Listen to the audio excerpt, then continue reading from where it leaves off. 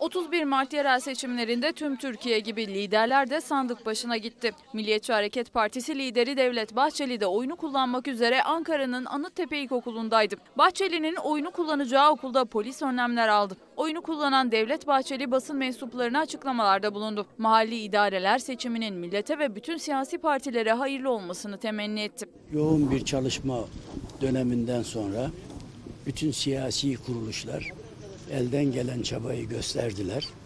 Olgunluk içerisinde, huzur içerisinde bir seçim tamamlanmış oldu.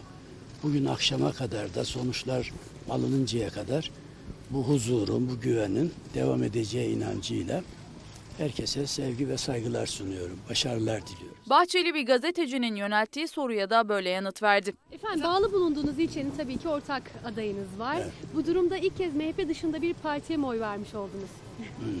Bu Cumhur İttifakı'na oy verdim.